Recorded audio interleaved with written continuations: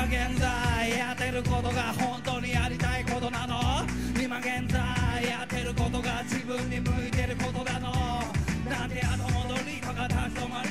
時には後ろを振り返り胸の中の迷いや葛藤絡まってく感情。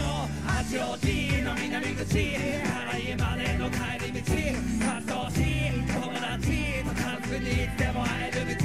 でも居心地がいいから